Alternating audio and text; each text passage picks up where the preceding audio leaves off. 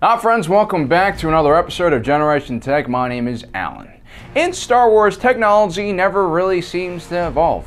Whether you're in the Old Republic era, Clone Wars era, Galactic Civil War era, or the New Republic era, it's an issue I've always wanted to talk about the stagnation of technology in Star Wars. But before we begin, a special thanks to Internxt, who we partnered with to bring you this episode. The whole premise of Rogue One and the original Star Wars film and The Force Awakens Basically, a third of the Star Wars films was to keep data secure. Unfortunately, in Star Wars, data is still kept on physical memory drives. Yup, they could fly across the galaxy in a week or two and build moon sized peacekeeping stations, but they just can't figure out how to decentralize data. Just think about all those poor bastards who died protecting what essentially was a USB stick. Now, this is where something like Internxt's xCloud would come to play. It's an incredibly secure cloud storage platform. It runs on a peer-to-peer network known as xCore. So all your data isn't stored on corporate servers, which are located in only a few different locations, making it an easy target for rebels. On top of that, your data is encrypted end to end and then split into little packages and spread across many different machines, which means it's well protected from crime syndicates and their hackers and our benevolent Emperor Palpatine and all of his Imperial Buckethead spooks. And anyone can be a host, but unlike other cloud services, individuals who decide to be a host for the xCloud platform will be paid in cryptocurrency known as Internxt tokens. I mean, if you're gonna risk storing some highly sensitive Death Star plans on your computer, you might as well be paid, right? But in all seriousness, unlike the Star Wars universe, our planet's technology is growing exponentially. And in order to sustain that growth, computing power and storage are going to be very important commodities that will drive all of our future technological advancements.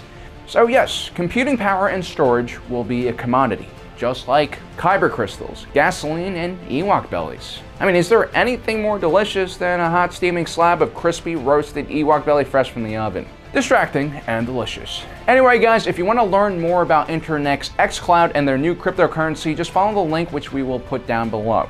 Also, keep an eye out for their beta launch, which will happen in quarter three of this year. Now back to the Star Wars galaxy, where, like Keanu Reeves, technology will never change. The obvious immersion shattering reason why Star Wars technology is stagnant is that Star Wars creators have to keep a certain set of rules both visually and functionally so that Star Wars remains familiar to our audiences. Like the Sith War Droid, which basically looks just like a CIS droideka. Now, the Old Republic is Legends, and in Star Wars, Legends and canon seem to treat technology a bit differently, but we're going to talk about that later on. First, we're going to look at Star Wars Legends' view of ancient Star Wars history, because the canon version of Star Wars is relatively new and barely mentions anything about the past at all. And until canon covers the ancient Old Republic era, well, we'll probably have to rely on Legends for quite a while. There are various ancient Star Wars races that developed empires across the galaxy, but one of the most significant of those empires was the Rakatans. Their technology was driven by the dark side of the Force. It operated a lot of their technology, including their version of hyperspace travel. The Rakatans went on to enslave much of the core of the galaxy. But eventually, a mysterious disease hit the Rakatans, severing their connection to the Force. Gradually, the Rakan Empire fell apart as their technology became useless. The Rakans that weren't overthrown by their slaves evolved into primitive tribes within a few generations. Some of Rakan technology was salvaged by their slaves and repurposed, like the hyperdrive, but a lot of the more incredible technological achievements the Rakatans developed were lost forever, like the Starforge. And when the Rakatans met their decline, the galaxy fell into a dark age, which is the first theory of why Star Wars technology has become stagnant.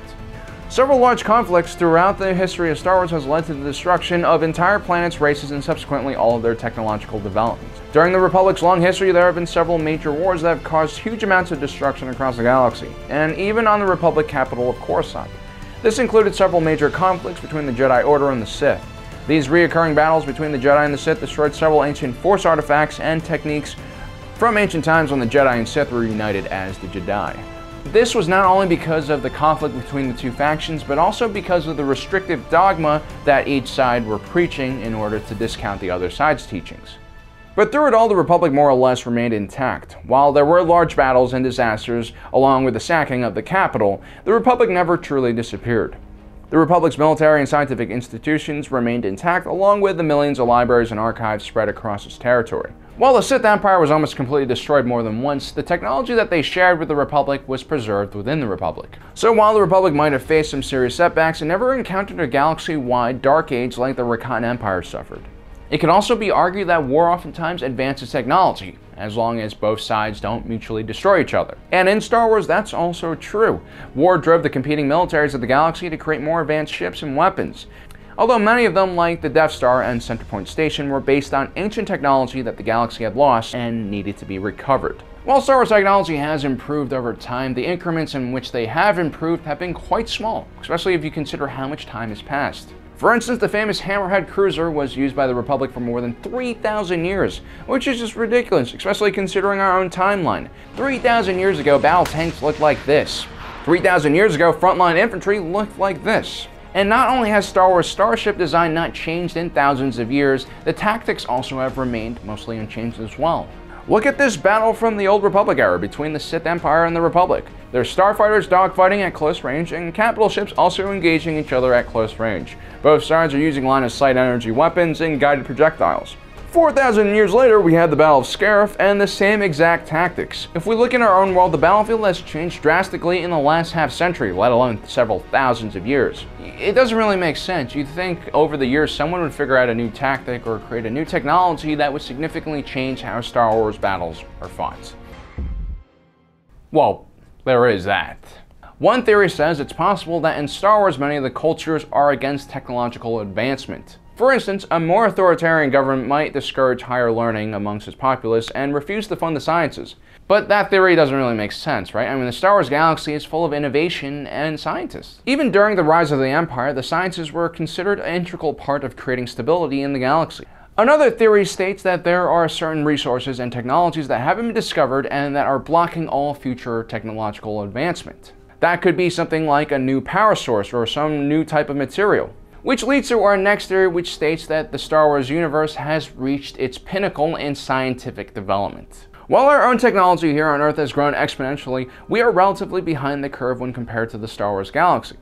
It's very possible that our own scientific development will one day stop growing exponentially and begin to plateau because of one limitation or another. This means instead of seeing technological advancements, what we'll see is lateral technological developments using already existing discoveries. Now in Star Wars canon, it seems like they're taking a new approach to things. In this version of Star Wars, the prehistory of the Republic seems relatively unknown, but from what we can see, it's a lot shorter than the Legends version, and the Ancient Jedi, as we know, copied written language on books, which is quite primitive. So it's possible that future canon versions of the Star Wars galaxy will get rid of technological stagnation altogether.